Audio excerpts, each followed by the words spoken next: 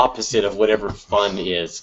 I believe it's wrestling with technology, and that's not so much fun. Just a wee bit. It's just a Yeah, wee right. bit, yeah. Urgh, technology. turn it off, turn it on. Try it again. Reinstall it. Restart Shake it. Shake it. Blue screen it. Uh, okay, well, hey, everybody. Well, my name is Fraser Cain. I'm the publisher of Universe Today, and this is your virtual star party for Sunday, September 22nd, 2013. And for any of you who are, like, I don't know, you've PVR'd Breaking Bad, you're missing Breaking Bad, I, I don't know why you would. Uh, so for the, who don't watch Breaking Bad, I, we really appreciate you joining us tonight. It's uh, it's fantastic, and we will make your sacrifice worth it because we've got a, a really great lineup tonight, and a whole lot of horrible technology that needs to be strangled. So uh, you know, I'm not sure which which of these things we're going to have uh, first. So I'm going to introduce everybody, and then they're all going to go off and battle their technical demons while we attempt to put on some kind of a show for you tonight. So first, we've got Andrew Dumbledon. Hey, Andrew. Hi, morning, Fraser. Uh, and so you're going to be bringing the uh, the iTelescope T3, which is fantastic. This is awesome. Uh, and you're in the you're in the UK, but you're controlling a telescope in New Mexico. That's right. And what's the what's the telescope? I think if people don't have a sense of what a wonderful piece of equipment this is that you're bringing to bear on our problems. It's like a 20. Is it a 20 inch plane wave? No, the uh, the T3 is actually a, a 150 milli, uh, 150 millimeter refractor. Oh man, that's still that's a that's a great telescope. Yeah. Um, okay, cool. Also in UK, we got uh, Chris Kennedy, the new guy. Well, actually, were you in it one with uh, with Scott and not me, or have, is this the Ah. first time you've done a star party with us? This is the first one. I, t- first time I've su- uh, successfully joined one. well, I, I, you- I tried a couple of weeks ago, and everyone else was clouded out, bar me. Right, and then we we had to call it, yeah, because the weather was terrible. But tonight the weather's great. It's just technology that's our uh, our bugbear tonight. But uh, but you've got a, a great view of, of Jupiter, which uh, you'll switch to in a second, and we will all ooh and ah, and uh, this is going to be the highlight of tonight. So I'm I'm really excited.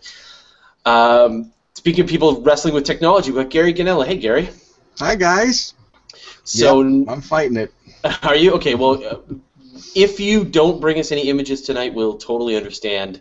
Uh, but I at least need to see some kind of hard drive with cables dangling from it, you know, the very least, to show that you've made a successful kill. So, uh, well, yeah. I I need to actually go out of the observatory now and hit something with a hammer. So Oh, uh, I'll don't put one that of my. Does, does that work? Yes, it does. It the does, bigger okay. the hammer, the better it works. I'll right. just throw up my stock photo here to hold my place and get back if I can. Fantastic. Okay. See, Okay. and there goes Andrew dropping off because technology is not our friend tonight. Uh, but that's okay. Chris is going to handle the whole show. We'll be all Oh boy. we got John Kramer. And John has been wrestling with some technology too. Uh, hey, John. That's right. Hello there. All right. Joining the club here with uh, Technology Challenge tonight. Yeah, I think uh, we we gave you a new direction at the last minute. So I think after this, we'll sit down and we'll try and work through the technical issues and see if we can solve it. So, all right. Uh, cool. And where are you located, John? Murfreesboro, Tennessee. Nice. All right. And we got Mike Phillips. Is that working, Mike? Are you just ecstatic? He's he's dropped too. So, so, so Mike was all set up, ready to go, beautiful images, and then his computer completely blue screened to death on him. So, I give I give up. We give up. All right, and we got Roy Salisbury. No problem. No Nothing. problem. Everything's everything's just fine. Perfect. Yep, no moon, everything. Everything. It's great. You didn't leave the light on your observatory. Nope. Okay, we're good. All right. Cool. Okay, so uh, normally uh, when we do this, it's uh, mostly it's people in North America. So people on the West Coast, it's about uh, eight o'clock. People on the East Coast, it's about eleven o'clock. But this is great. We got two two people. Well, one person really from from England. Andrew is is in England, but then is using a New Mexico telescope. But Chris is there, and so here's the great thing: Jupiter. Three months before we would normally get Jupiter, and this is terrific. Check it out. Like that's it. This is the whole show. I'm just gonna drop the mic. We are out of here, people, because uh, because we got a beautiful view of Jupiter. Look at this view of Jupiter. That's great. This is sick. That's real nice. Ah, it's about time I got one. Yeah, no, no, this is you completely knocked out of the park. Look at this. And so the, this is live, and so I think people can see now. This is uh, you can see how it's uh, wobbling back and forth, um, and that's because this is live video of Jupiter taken from England, broadcast into a virtual star party, and uh, shown to you no matter where you are. And if I stretch the uh, exposure just a second, I can bring you Jupiter and Two moons. of moons. Look at that! This is great. So, so what we have to do here is that because Jupiter is such a bright object, uh, you can't see both Jupiter and its moons at the same time. And so, what you do is you overexpose uh, Jupiter, and that brings out the brightness of those two moons. And so, did we figure out which which of those two moons they are? Yeah, uh, the closest one to the bright blob that's Jupiter is Europa, and then the one just next to it is Ganymede. Yeah, that's great. And uh, it, it, you know, if you want to verify, there's a great program called Stellarium that you can use. You can install, and it'll show you the positions, the live positions of Jupiter's moons. And uh, and so those moons will just move back and forth on varying sides. The, the four Galilei, Galilean moons that you can see with even with a small telescope, a good pair of binoculars, definitely in a in a larger uh, telescope like this. So what's your telescope, Chris? Um, it's um, an 8-inch Schmidt-Cassegrain telescope, um, and its basic focal length is uh, two meters. But I've got a three times Barlow attached to it, which uh, triples that out. Uh, Yeah. Uh, so, so uh, why Gabo Kiljabob notes three months early and still no red spot. So this is this is the thing we have not seen so far. Is the red is the great red spot? And I had that two weeks ago as well. Did you? Yeah. Yeah. And Tom Nath also says, "Wait, no red spot." Um, oh. I think I'd have to double check, but um, I think it starts rotating into view in um, the next half hour or so. But I, again, I'd have to double check. Well, they, let's hope. But no, literally, you can know when the great red spot is going to be visible. It's anytime it's not the virtual star party. So, yeah, yeah, you can you can find that. We're still waiting to see that, and I still we still have yet to see a transit of the moons going in front of the planet. Which And I'm going to rub it in again, but I had that as well last time. Uh, Ronald Mitch is asking, can you spl- overlap split screen it? Are you talking about splits overlap split screen uh, his image of Jupiter and the moons? I'm not really sure if you can explain that. Okay, so also one thing that you can do is if you want, you can make comments and questions and feedback and give us some suggestions and any any requests you'd like us to view. So all you have to do, there's a bunch of places you can make those comments. Uh, you can make a comment over on Google Plus uh, on the event page. You can also make a comment on YouTube if you're watching this on YouTube, or you can make a comment on, uh, I guess, on Twitter. But I'm not really watching Twitter right now. I've got because I'm solo right now. There's um, no one else is helping me on this. So uh, I would recommend if you really want to make a comment, I highly recommend you just make the comment on YouTube. That is, I believe that's what I'm going to suggest. So re- regarding the jo- Jupiter transits, on October 12th, uh, I posted this just a couple days ago, and I, I didn't know about this until recently. There's a triple transit. In other words, there are three of the four Galilean moons will cast a shadow onto the disk of Jupiter at the same time, and it, it's predominantly a European style event. So you can go Mm. go go make your plans and find this is this, I've been observing Jupiter now I think seven years and I think I've seen a double transit twice. So a triple twin. Tri- a triple transit is probably pretty rare. Yeah. that is pretty rare. Yeah, it's amazing. you say October 12th? Yeah, I think it's a Saturday morning, so yeah, it's not not, not a virtual star party time. Yeah. well, we could make a special event just to do the see the triple transit. That's fantastic. Okay, well, we're going to come back to this image quite a bit, Chris. So you know, don't go anywhere. Uh, okay, I'm going to move on to John's view because I know John, you've got a, a list of objects you want to pull up. So, so this is a adorable little blue blob. What are we looking at? This is the blue Snowball Nebula, NGC 7662. and That's it's great. in the constellation Andromeda. And yeah, we're picking up um, a pretty good inner blue ring there, uh, structure around the bluish central star, and getting a good amount of the halo around it. So uh, it's Yeah. pretty good. Yeah. Um, and so, and this is a planetary nebula, right? Correct. This is a planetary nebula in the constellation Andromeda. Yeah, and for those of you who aren't aren't aware of what a planetary nebula is, these are the beautiful structures that happen after a star like our sun dies. And so you get this situation where the sun, after it uses up all of the hydrogen in its core, it switches to helium burning, and then it bloats up as a red giant and then puffs out its outer layers. And these outer layers will expand away from the star, and you get these amazing shapes. And so this is an example. I know this is going to be a, a planetary nebula night, John. You're going to show us a couple more, right? Right. I'm going to try to, while everybody's going ahead and one of their other objects, I'm going to try to bring in a couple more different planetary. That sounds great. Okay, well, I'm going to move to Roy's view. And uh, Roy's got a different kind of nebula. And I'm going to guess what I'm seeing here, Roy. This looks like the elephant trunk. Yes, it is. Nice. This is great. And can you explain what your what your telescope setup is, Roy?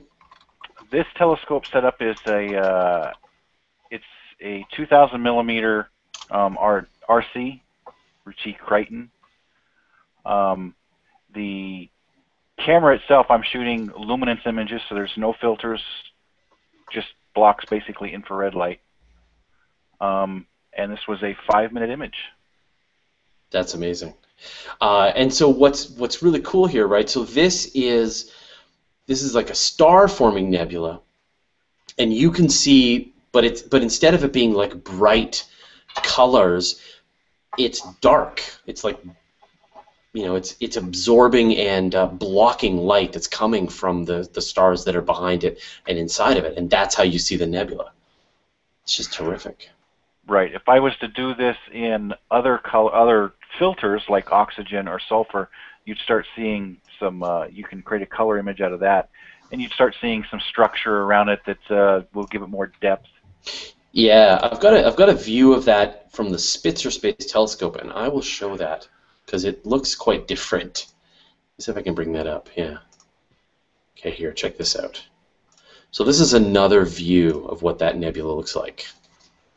Now that's seen in infrared, so it's actually like Right. the opposite of yours because in your view, your I block all uh, the infrared. yeah, you're blocking all the infrared, and then in our view, uh, in, sorry, in this view from Spitzer, it's only infrared. So, but you can still see sort of the, the structure of the of the object. But I mean, the fact that you're doing this exposure tonight for the Star Party is just it's amazing. That's terrific.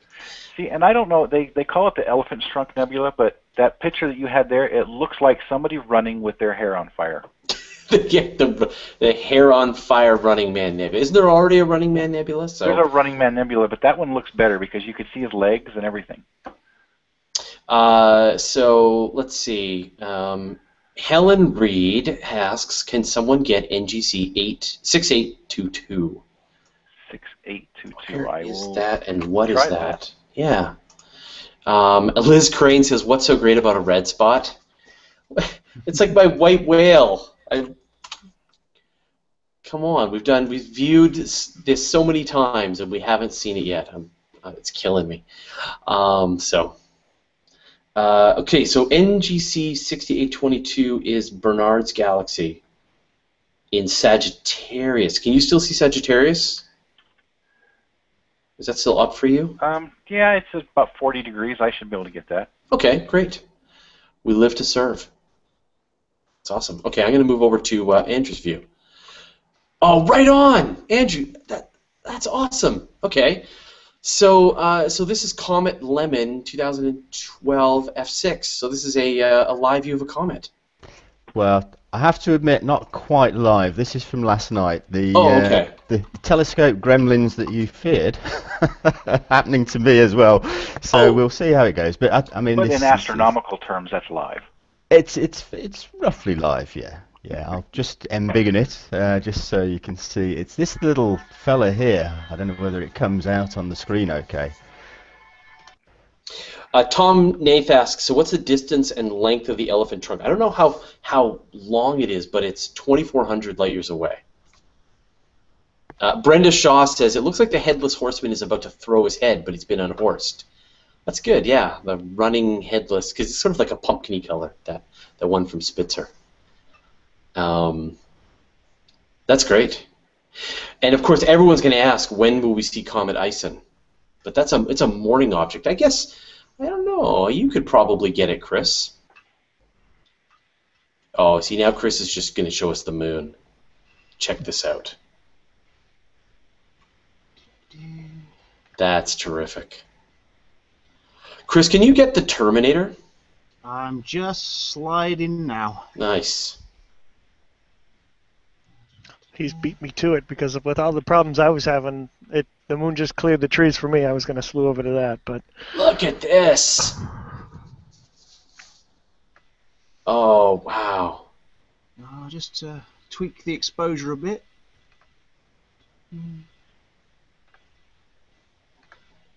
That's it. Like I said, we just call it a night.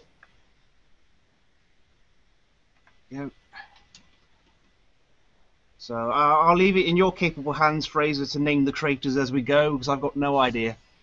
I don't have my Phases of the Moon app handy. It's a useful one. Yep, we. Uh, if anyone does need to know the phases of the moon and the craters and objects, we've got a free Android app that we we made. It's pretty neat, called Phases of the Moon. So, uh, oh, that's fantastic! Look at that. Uh, no, if David was here, he would be able to name these objects, but Let's go right up there. Copernicus, Plato, I don't know. It's almost like you're zoomed in. You know, you're too you're too close. You can't get any perspective and see what the the craters are. But that's just that's wonderful. Ooh, hello. That's a big one. That's a big one. Look at that. That's amazing.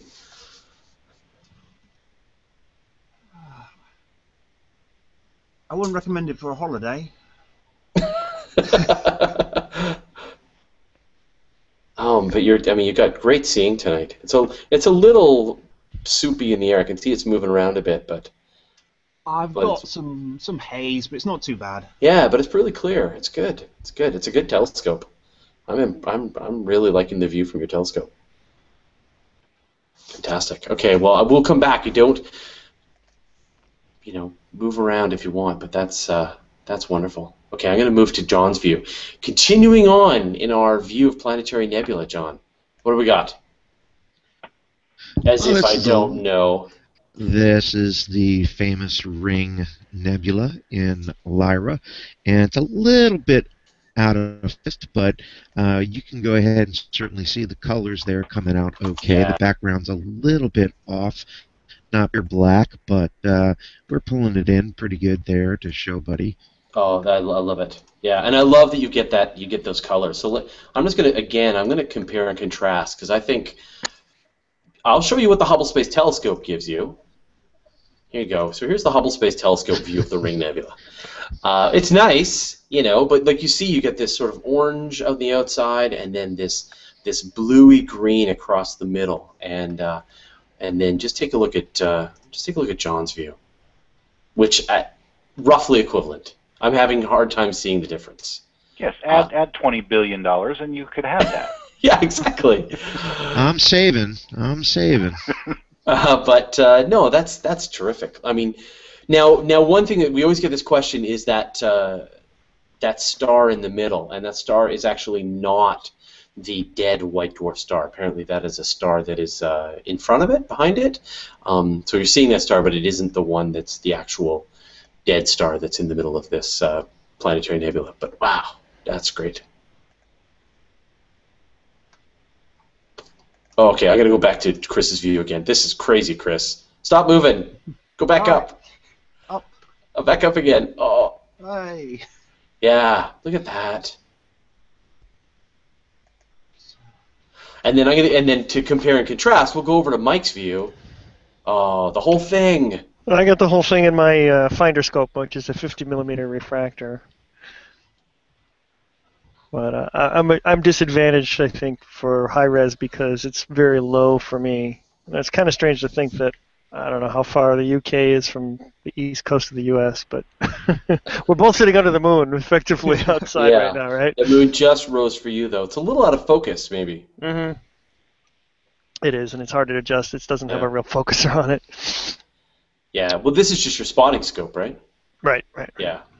Uh, so Scott Chapman says, incredible moon magnification. Can you see any man-made objects? No, you can't. Um, even with the Hubble Space Telescope, you can't see any man-made objects on the moon. The only way you can see it is with the orbiters. And in fact, uh, NASA's Lunar Reconnaissance Orbiter uh, has been orbiting the moon and has returned images of all kinds of things that you can see. You can see all of the landers, all of the rovers. You can even see the footprints on the uh, walking across the surface of the moon, which is great. Um,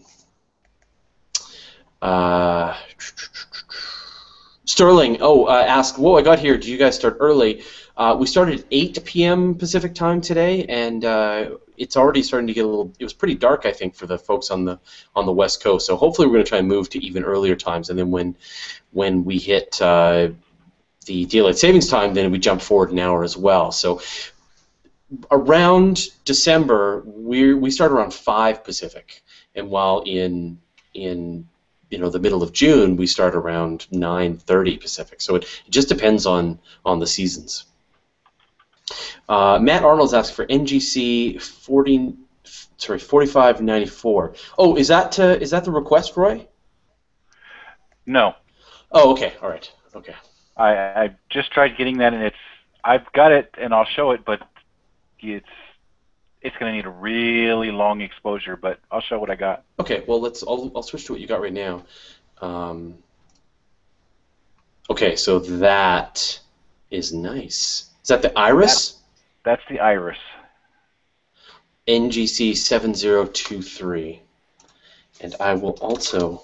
I hope you guys don't mind. Is it all right if I compare and contrast, uh, so you can sort of see? I don't want to, you know, compare what you're doing with the Hubble Space Telescope, but it's great to sort of show the difference. I cry foul. Ow. It's not fair. Um, here, let me show you another image of it. What's really neat about this one is it's you're using black and white, but in color, it's this beautiful purple color. I can show you a color one. I, But I- it's not I would live. love that. Well, that's okay. You've So there's it. the black and white, and there is the color one that I did. I'm just seeing it. There we go. Nice. Oh, this is great. Will has uh, brought up some images of. Okay, I'll bring those in. Will, thanks. I never finished this one because uh, the moon came up, and then it's getting starting getting. I'm losing about half the night on it, so I want to get some luminance on it and bring out some of the stuff. But uh, I don't know if I'm gonna get back to it. Okay, so I'm going to screen share the surface of the moon captured by NASA's Lunar Reconnaissance Orbiter. And uh, yeah, so you can see here, this is great. So you can see here's the footprints of the astronauts walking across the moon. Here's an experiment that they set up. here's the, the buggy tracks where they planted the flag. So this is Apollo 17. The final parking spot of their of their rover. So thanks, Will. That's that's fantastic. All right. Before I crash again, I thought, it's happened twice already, so I'm, I'm getting a little leery here. I thought I would show you uh, some. I, I just kind of wander around the sky sometimes because I have a limited view as to what I can shoot with all my trees here, and I, I happened upon what is this, Fraser? This is the This is the Wizard Nebula. the Wizard Nebula, yeah. I, I saw a nebula and I said, oh, I'll go look at that. And then this is what I shot. So this is a five minute um, one by one bin in hydrogen alpha. And I was thoroughly impressed with this, given that the moon had just risen about the time that I started shooting these. All these little bright spots and dust lanes. And I don't know if I see the wizard, but I thought it looked pretty cool. It's always nice to shoot hydrogen alpha when the moon is out and streetlights are bound. Uh, I'm gonna. Chris is just moving around here. This is great. Could you pull out the Barlow, Chris? I know it take you have to do some setup, but then get a little bit more in the field of view. Ah, yeah, no worries. Would you I'll do that? Okay, that'd be great. Thanks. Um, okay, I'm going to move to Andrew's view. Are you just are you demonstrating that this is live, Andrew? No, no, this is demonstrating it's not live, in fact. yeah, we've got the 21st. So, the, again, oh, okay, uh, yeah. we're still struggling uh, with the T3. So, uh, I got some Mallincam shots from last night, so I'll keep displaying those until uh, T3 t- decides Okay, to talk you, to t- me. you tell me when it's when it's live then. But is the T is the T3 color or, or black and white? It is T3 is a color, so it's got a one-shot uh, color camera on it. It's a 150 millimeter refractor. Um, so it, when it starts playing ball, uh, I'm hopefully going to get the Crescent Nebula. Uh, but I also have a Crescent from last night just as a backup, just in case. Okay. Well, and so we've got your view of the dumbbell here from the from from with your Mallincam, and then we've got John's view, which is which is another view of the of the dumbbell. This is great, John. You're doing our total tour through all of the planetary nebulae. Uh, so this is uh, another example of a dead star, and I think in this case, that white star right in the middle actually is the uh, the white dwarf star for the the dumbbell. I think it is. Yep. Apollo is go says the great red spot should be clearing Jupiter's eastern horizon in the next half hour. Thing is, it does drift slowly from slowly west from month to month. So it doesn't it doesn't matter. Apollo is go. It's hopeless. It is hopeless. We will never see the great red spot. Woe is me. That's great. Okay, I'm going to move back to Chris's view. Yeah, so look at this. And then can you embiggen the screen, Chris? So we don't have the, uh, yeah.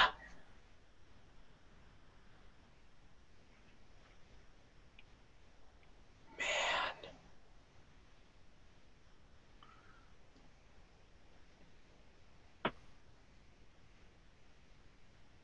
I got nothing to say. Look at that.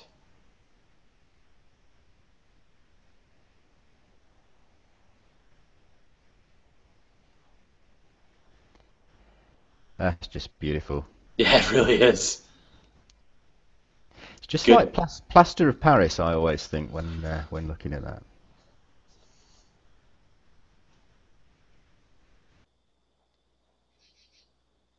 Gap, just okay. All right, I, I, we'll be back. Don't don't go anywhere, Chris. Okay, uh, Roy. Here's what we got here. This is it. No. This is killing me. All right, well, since, this one was requested in the comments um, before we even started, um, so I figured I would bring it up. This one is where is it?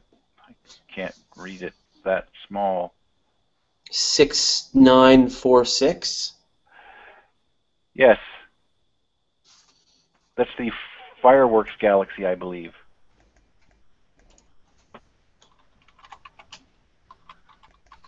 That's great.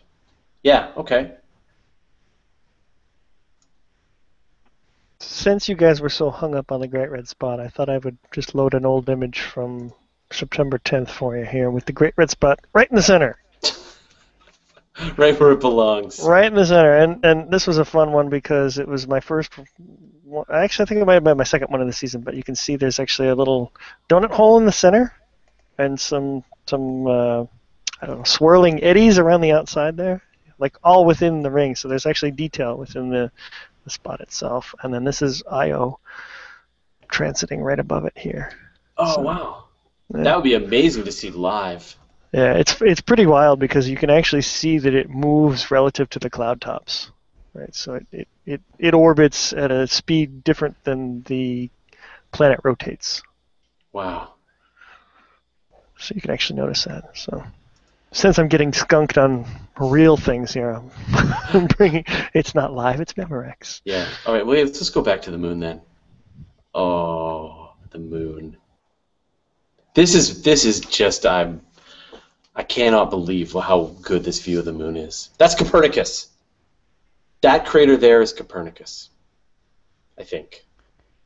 Could be is an Tycho. Is it Tycho? Oh, okay. It's a fresh crater though you could see all the rays coming out of it.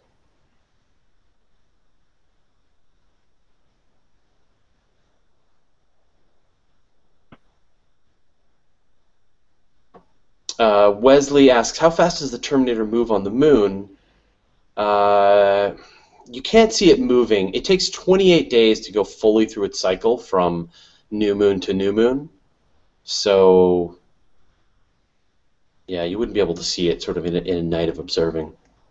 Well, you'd see it a bit, but. Get your hands on our phases of the moon. You can you can move it back and forth with your thumb. You can see how fast the, the Terminator moves.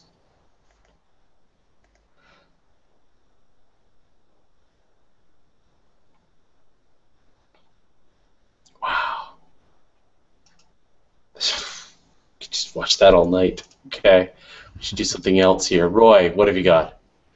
This is you keep asking, so I figured I'd bring it up before. I Did you do it? Is it? Is it? Is it here now? Is this it? That's it. See, like I said, there's there's there's not much to it. Uh, that so this is NGC 6822, and Yep. yeah, yeah, it's kind of faint. So You would need to- much. Yeah, that's that's a three minute exposure. Yeah. All right, I'm gonna move to John's view. John, I you appear to have brought us a binary star. Uh, actually, I'm just centering up a star to bring you here uh, uh, a globular, hopefully. So if you can pop okay, back to uh, me I'll- here. uh, sure, I'll come back to you. Uh, Albireo, this is the double star that I was hoping to see. This is great. So this is Andrew's Andrew's view from last night of Albireo. Again, it's a bit of a wide field of view. I can just about see some colour. I don't know whether it comes through on the hangout. Oh sure, yeah. No, I can see the orange for the one star and blue for the other. So this is a this is a one of the best uh, double stars that you can see out there. It is absolutely gorgeous. Through an eyepiece, absolutely gorgeous. Yeah.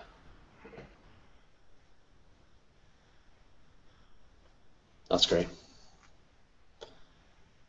Oh, let's go back to the moon. I've, I, I am literally just absolutely amazed. This is just phenomenal. Like, I don't know why. Like, is it the seeing? Is it the the detail? Is it maybe it's they've added the HD? You've switched to the HD, right, Chris? I think it's the HD because that's Yeah. unbelievably sharp and clear. Yeah, it's just so sharp. Like, are people watching this able to see it as sharp? Like, if you've moved up to the the 720 HD, are you seeing it this sharp in your view as as we are? Because it's it's unbelievable. This is the. I mean, this is absolutely a, a huge step forward in this technology.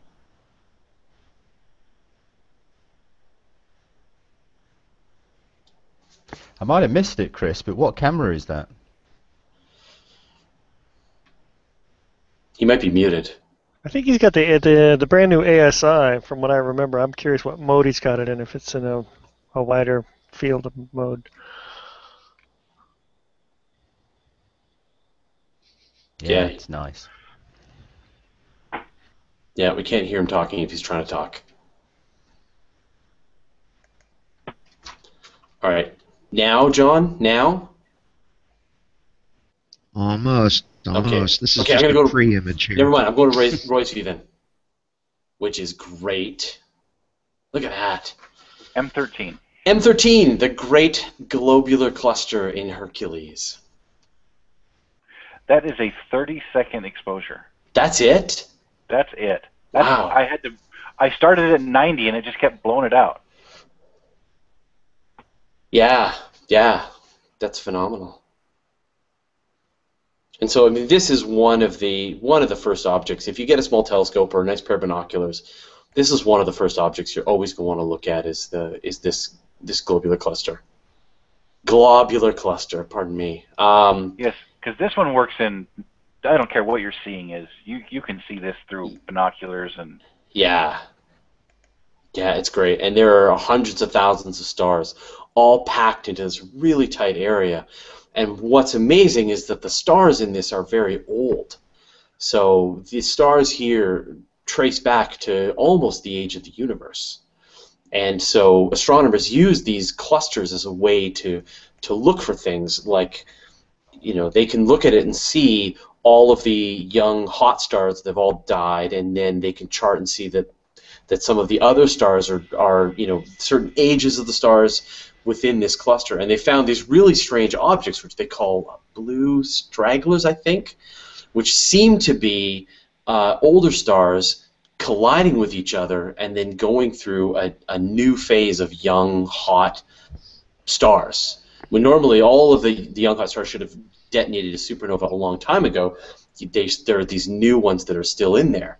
And they appear to be two regular stars just crashing into each other because all of these stars are all just orbiting this common center of, of gravity, like buzzing bees. And every now and then they smash into each other, and it, you know, two uh, older stars smash into each other and create a nice, hot, young-looking star again, which may or may not detonate as a supernova again. So. So speaking of old and far away, I stumbled upon this one. At, it was just something that I saw and it had a lot of galaxies in it, and I said, "Oh, I think I'll stop here and I'll shoot this." And I finally, a couple weeks later, I had a chance to digest it, and I shot a kind of mosaic, like two different areas right next to each other, and sandwiched them together. And I think when I counted all the galaxies, there was uh, about 76 galaxies. I didn't count them by hand. That was just kind of the report from from the plate solving mechanisms I had. And in digging through it, there were some that were members of this supercluster in uh, I forget what where Abell is. I think it's Now in, I'm only seeing your your icon. So is there a picture that you're? Ah, I thought I had it. No, let me see. Let's turn it back on. How about that? Are you saying that there might be technology failing Uh, tonight? Yet again, I mean, this is about as fresh as a, a boot as you're going to get. Uh, Can you see it now? Nope. Oh, If I- Lord. If I click on his icon down there, I can see it. Oh, okay. Yeah. No, that worked. Yeah, I clicked on his icon. So okay. So it's Oh, okay. our technology is failing. Uh, yeah. All right. We're being let down left and right. Yeah. So if anybody hasn't upgraded, a couple of people are now noting that they've uh, they've upgraded the 720. So you should be able to in the bottom right. In if you're watching this in YouTube, well, I guess you have to be. Uh, there should be a little gear that you can click that will let you go up to the 720 uh, resolution, high def, and do that because it's it's great. Okay. Yeah. So there's a whole So- pile of Hi, yeah. I'm just it's just tons and tons of galaxies, and this is just a sub portion of, of what I shot. And and I like this one because there's a little barred spiral here, and there's another different uh, barred spiral here, and there's a nice little grand spiral here. And my favorite one is probably this little tiny spiral right here. So different shapes and sizes, and so I'm going through counting all these things up and looking at these things. This one right here looks like a star, but it's actually not, and it's identifiable identifiable by the catalogs that I use to, to check all this stuff out and it's like a 17th magnitude. This is only a, a 10 or 20 minute exposure. This is a yeah, this is a 20 minute exposure in my new camera here, and luminance channel. And so it looked at it doesn't doesn't give you the distance to this in this object. It gives you the the receding velocity. So I'm like, all right, well, uh, so, so if you read the blog post I put out, it tells you how to convert the velocity to the uh, redshift, and then the redshift can give you the distance. The distance that I calculated as based on the catalog values and all the math that I checked, I think is right. I was hoping a scientist could verify it for me. I think it's 1.6 billion light years away, Wow. which I was just mon. uh, So I went and looked. At, you know, the in in the Earth's history, 1.6 billion years ago into Earth's history, there was single and barely multicellular organisms, like pre-dinosaur era. Right? I mean, so we're talking like super, super old, and I was just astounded that this was so rich in galaxies, and that some of these things were just so far away. In fact, I think this this thing right here next to it is a galaxy too. It doesn't have a redshift measurement for it, so it could even be farther away. I don't know. Uh, I'm gonna move to John's view because now, now, John, now we're there, right? We are there now. Yeah, thank you. This is M15, a globular cluster in Pegasus. Really pretty globular cluster too. Not quite Yeah. as bright and spectacular as M13, but it's pretty nice to look at the eyepiece as well. Oh yeah. Yeah, that's fantastic. Uh, and then Andrew's got one as well, also M15. Yeah, the same one. yeah. Slightly different exposure. Again, uh, this one's taken through the uh, the Astro video camera, the Mallincam. Uh, Helen Reed is noting that it works on her Chromecast, and that's great. I, I just got a Chromecast just a couple of days ago, so I had to pull some strings to get one out of the states because they don't sell them in Canada yet. Um, but that's great. So if you want to watch this on your Chromecast, you can.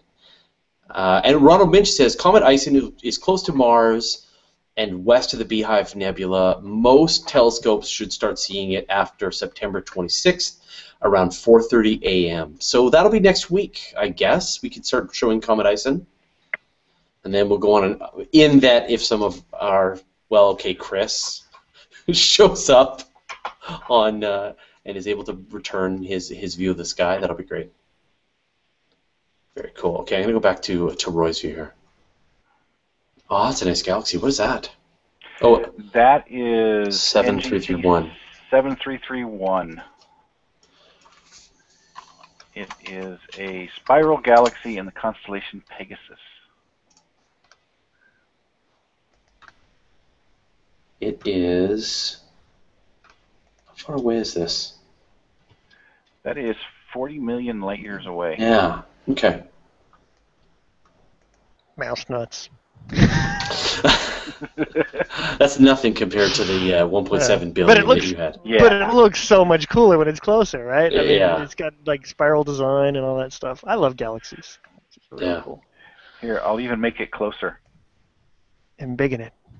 Nice. I think I see the black hole in the center. That's great. Uh, and then Chris is showing us more Jupiter, but now he's pulled his his Barlow out, and uh, and but what's great is you can see three moons for sure. Can you see a fourth moon? Oh, he's blown up the. Uh, maybe it's behind, or is it way off to the side? Chris, go click that ephemeris thing again. That should tell you. There's a little trick in the program there. No, yeah, it's off. If it's off on the right, or your Wow. your left, because I think it's flipped, right? Because it's it's further over. It's on the side of the double, so keep going that way, and then, there it is, right there, right there. Right. Yep. Callisto.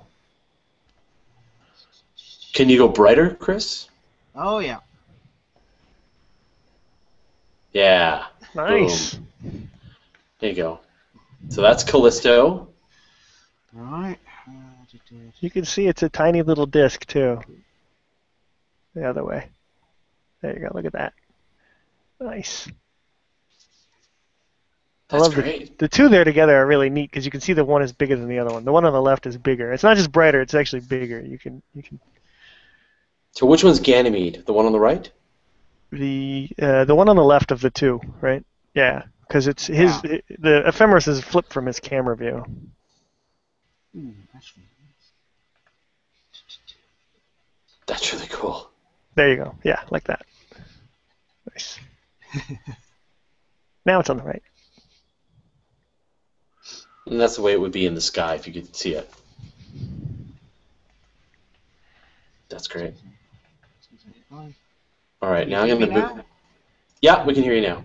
I was, I was going to say to answer the um, earlier question. Um, I've got, as I say, no Barlow in at all, and I'm using that um, ASI uh, 120 color. So it's, it's a color camera because I I've not got a filter wheel or anything like that yet. When you were doing those moonshots, what what mode did you have it in? Because it operates in several different like region of interests, I guess, right? Uh, that that was the, the full that was the full sensor full- view, Yeah. um, and Which is HD, I think, right? Or uh, equivalent it's- of. It's, it's close to yeah. Right. Yeah. Yeah. Yeah. It was beautiful. Oh, yeah, amazing. Speaking of, let's go to check out Andrew's view of the moon. Now, this is again from last night. As he Again. as he attempts to hit hit a telescope five thousand miles away with a hammer. Yeah, I, I keep hitting abort and trying again, and it's uh, it's uh, yeah. I'll, I'll probably give up on it soon, but uh, yeah, we'll go go with archives, I think. Yeah, Yeah. So this is a moonshot from last night, and you can just see the the craters just peeking out of the uh, or just catching the last of the sunset. And I think there's a nice little ray from this uh, craterlet here. Uh, I don't know whether it was actually caused by that, but I can just about see. Uh, Yeah. a streak there somewhere.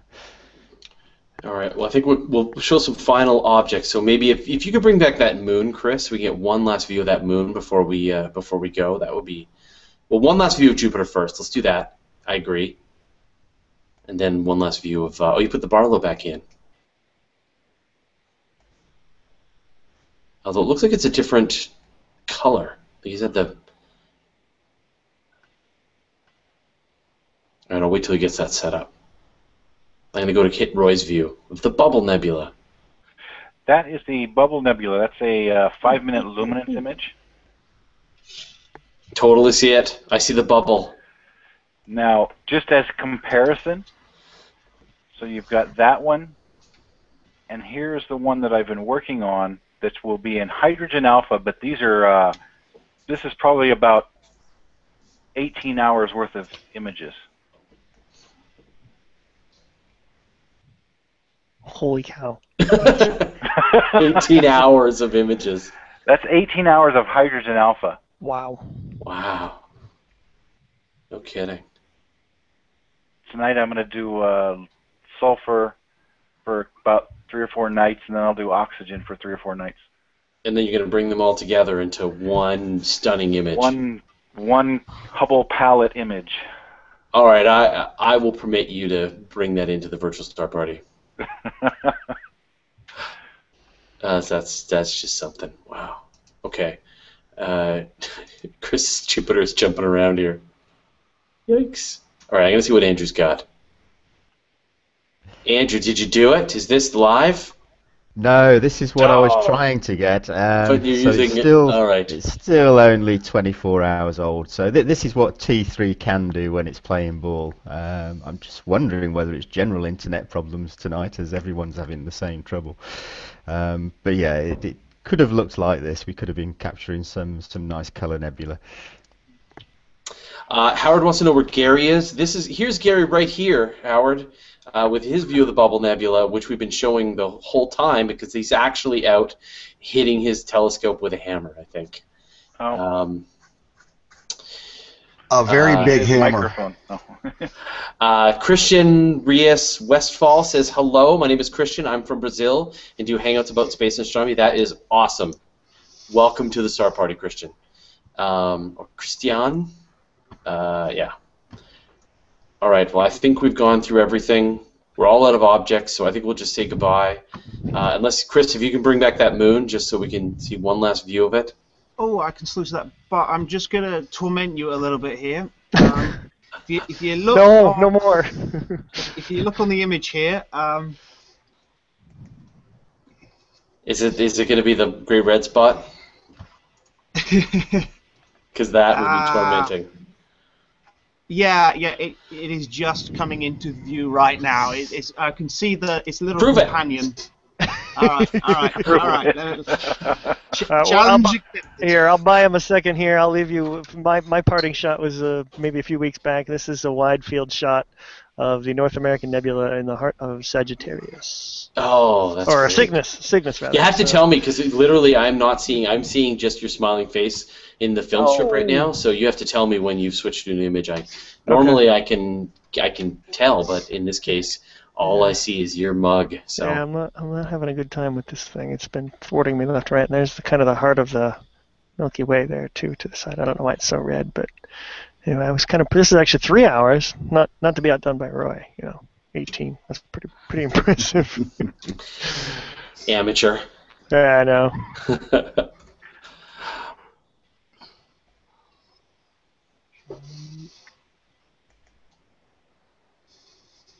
all right. And John, I just seen some stars. Yeah, this is the. Uh, I don't get it all in the frame of view, but this is uh, NGC 457, one of the nicest ones out there in Cassiopeia. Uh, the ET cluster or the OWL cluster is what folks call it. Oh right, okay, sure, This yeah. this would be the eyes here, the main body. You just don't. I don't have enough uh, field of view here to bring it all in, but I wanted to give it a try. That's great. Okay, Chris, what do you got? We're ready. Where is it? Ah, Just use your imagination, Fraser. Just t- tell me whatever you think I need to hear. under pressure. Do, do, do, do. Ah. all right. Uh, I'm, I I have to swap camera back and forth so I can actually talk to you. Uh, if you're looking, I think it's it's to my bottom left-hand side. It, it's a bit fuzzy. My focus is a little off. Um, I'll go back to it. Can you see? I don't know. Maybe you can maybe you can capture some video. Well, we don't see anything right now. Oh, there we go. Okay. All right, everybody peer at it. Can you Will it to appear? I don't I don't see it. Very, uh, yeah, very, yeah, very often the the red, the red spot, in especially in iffy conditions, looks more like a hole in the belt than it actually looks like a red spot. It's a, and it's it's kind of a misnomer. It's red, but in in most cases, it's kind of more of a salmon or an orange color. Hmm. It, it- like it especially varies over the seasons. I, I thought that was a shot I showed from a few weeks back. It was fairly red, but you know, sometimes in live video it does not appear very red. What do you think? That thing over on the left-hand side there? Does that is that it? I'm not sure I see it, but I don't doubt that it's there. Is Sometimes that you, where it should be? It's in the southern it's southern equatorial belt on the south side. So it would be the the fatter of the two brown belts, Yeah. which is the one on the bottom, and if it's oriented red, it would be rolling in from the left. And it would be on the bottom part of that belt, but it's it's so washed out on the limb, it's really hard to Oh, I see. I don't know whether I think I see something, but I don't know whether I just I just want to see it, and so Right. I don't know whether it's real or not. We're willing it. How do I even know what's real anymore? All right. I, Well, I Chris- should take a photo. yeah, if you take a photo There you go. and, and it's in there, then I think we can just we can stick a fork in this challenge and call it done. Move on to something else, which is I want to see. Uh, well, the, the the plan, and there's a there's a astronomer who's going to be working on this, is to bring in the International Space Station live. So this is my next. This is our next challenge, and Corey is planning to do uh, Star Trails live, and try and get some meteor showers. So we're going to try and do that as well. Cool. Okay. Well, thanks everybody for for joining us and watching. I know this is the nerdiest thing that possibly exists on the internet, and we're proud of it. So, uh. Yeah. So, uh, so thanks to everyone who watched, and thanks to all the astronomers who joined us tonight. And uh, sorry, Gary, and well, sorry for all of you having your technical problems. Uh, if you haven't already, uh, subscribe to the YouTube channel that you're watching this on, so you'll get uh, notifications whenever we release anything new, which is often. Um, yeah, and then what's next? I'm not sure if we're doing Astronomy Cast tomorrow. Pamela is on a uh, trip out to New Zealand, so I don't know whether she can be back. So, yeah, cool. All right, well, thanks everyone for watching. Thanks for everybody for streaming their view. Amazing first uh, first show, Chris. Now I'm not sure whether it was the HD that was really doing the heavy lifting there, but your view was just phenomenal. So uh, you are you are welcome back any time. And I know the fact that you're in the UK and you've got a couple of hours before you have to go to work, uh, it makes it even the, the greater sacrifice. So we really appreciate it. Thank you, thank you. Yeah, Uh, yeah, glad to be here. Just Good wonderful. job. Yeah, Good job, and, man. Good job. yeah, and Andrew too for, for Awesome. getting up early. The for for you, I mean, for me, it's like, you know, it's like early evening, but for the folks even on the East Coast, it's I know it's a real sacrifice. So we really appreciate it. All right, well, thanks everyone for watching. We will uh, we'll see you all next week. And night, I will everybody. be back up next week with a new computer. Good night. oh no, okay. Bye. Yeah. Uh, so, so uh, why Gabo Kiljabob notes three months early and still no red spot. So this is this is the thing we have not seen so far. Is the red is the great red spot? And I had that two weeks ago as well. Did you? Yeah. Yeah. And Tom Nathan also says, "Wait, no red spot." Um, oh.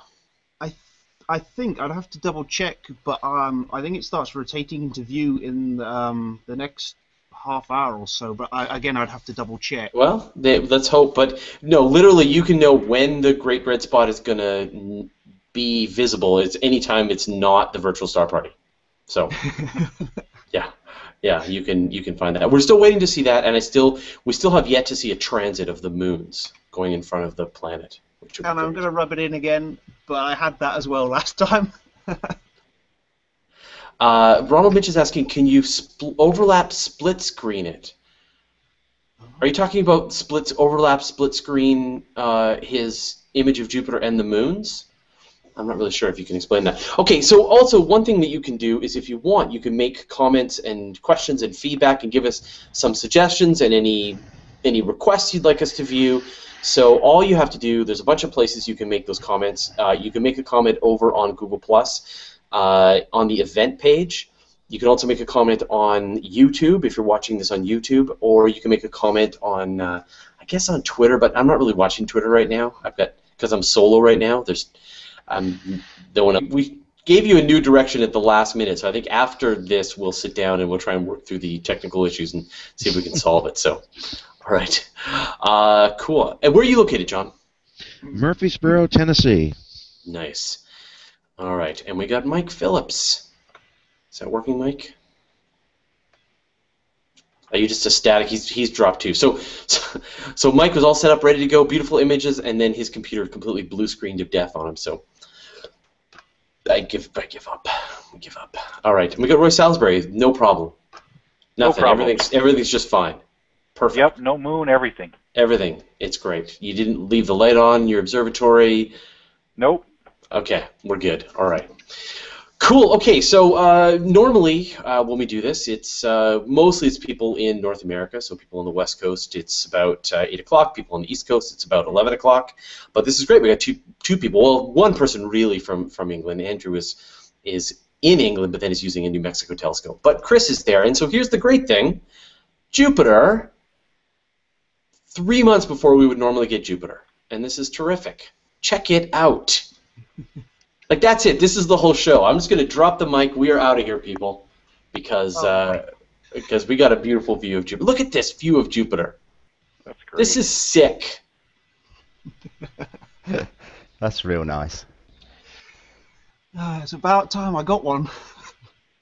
Yeah, no, no, this is you completely knocked out of the park. Look at this. And so the, this is live, and so I think people can see now. This is uh, you can see how it's opposite of whatever fun is. I believe it's wrestling with technology, and that's not so much fun. Just a wee bit. It's just a Yeah, wee right. bit, yeah. Urgh, technology. turn it off, turn it on. Try it again. Reinstall it. Restart Shake it. Shake it. Blue screen it. Uh, okay, well, hey, everybody. Well, my name is Fraser Cain. I'm the publisher of Universe Today, and this is your virtual star party for Sunday, September 22nd, 2013. And for any of you who are like, I don't know, you've PVR'd Breaking Bad, you're missing Breaking Bad, I, I don't know why you would.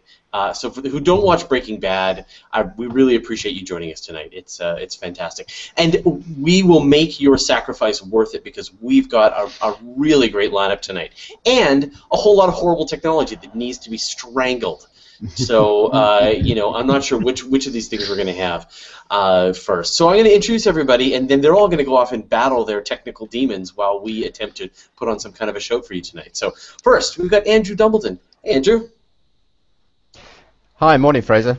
Uh, and so you're going to be bringing the uh, the iTelescope T3, which is fantastic. This is awesome. Uh, and you're in the you're in the UK, but you're controlling a telescope in New Mexico. That's right. And what's the what's the telescope? I think if people don't have a sense of what a wonderful piece of equipment this is that you're bringing to bear on our problems. It's like a 20. Is it a 20 inch PlaneWave? No, the uh, the T3 is actually a, uh 150 milli, uh, 150 millimeter refractor. Oh man, that's still that's a that's a great telescope. Yeah, um, it's uh, wobbling back and forth, um, and that's because this is live video of Jupiter taken from England, broadcast into a virtual star party, and uh, shown to you no matter where you are. And if I stretch the uh, exposure just a second, I can bring you Jupiter and Two moons. of moons. Look at that! This is great. So, so what we have to do here is that because Jupiter is such a bright object, uh, you can't see both Jupiter and its moons at the same time. And so, what you do is you overexpose uh, Jupiter, and that brings out the brightness of those two moons. And so, did we figure out which which of those two moons they are? Yeah, uh, the closest one to the bright blob that's Jupiter is Europa, and then the one just next to it is Ganymede. Yeah, that's great. And uh, it, it, you know, if you want to verify, there's a great program called Stellarium that you can use, you can install, and it'll show you the positions, the live positions of Jupiter's moons. And, uh, and so those moons will just move back and forth on varying sizes. The, the four Galilean moons that you can see with even with a small telescope, a good pair of binoculars, definitely in a, in a larger uh, telescope like this. So what's your telescope, Chris? Um, it's um, an 8-inch Schmidt-Cassegrain telescope, um, and its basic focal length is uh, two meters, but I've got a three times Barlow attached to it, which uh, triples that out. Okay, cool. Also in UK, we got uh, Chris Kennedy, the new guy. Well, actually, were you in it one with uh, with Scott and not me, or have, is this the first time you've done a star party with us? This is the first one. I, t- first time I've su- uh, successfully joined one. well, I, I, I tried a couple of weeks ago, and everyone else was clouded out, bar me. Right, and then we we had to call it, yeah, because the weather was terrible. But tonight the weather's great. It's just technology that's our uh, our bugbear tonight. But uh, but you've got a, a great view of, of Jupiter, which uh, you'll switch to in a second, and we will all ooh and ah, and uh, this is going to be the highlight of tonight. So I'm I'm really excited. Um, speaking of people wrestling with technology, we've got Gary Gonella. Hey, Gary. Hi guys. So Yep, I'm fighting it. Are you okay? Well, uh, if you don't bring us any images tonight, we'll totally understand. Uh, but I at least need to see some kind of hard drive with cables dangling from it, you know, at the very least, to show that you've made a successful kill. So, uh, well, yeah. I, I need to actually go out of the observatory now and hit something with a hammer. So Oh, uh, I'll put one of my. does, does that work? Yes, it does. It the bigger does, the hammer, the better it works. I'll right. just throw up my stock photo here to hold my place and get back if I can. Fantastic. Okay. See? Okay. And there goes Andrew dropping off because technology is not our friend tonight. Uh, but that's okay. Chris is going to handle the whole show. We'll be all Oh boy. we got John Kramer. And John has been wrestling with some technology too. Uh, hey, John. That's right. Hello there. All right. Joining the club here with uh, Technology Challenge tonight. Yeah, I think uh, we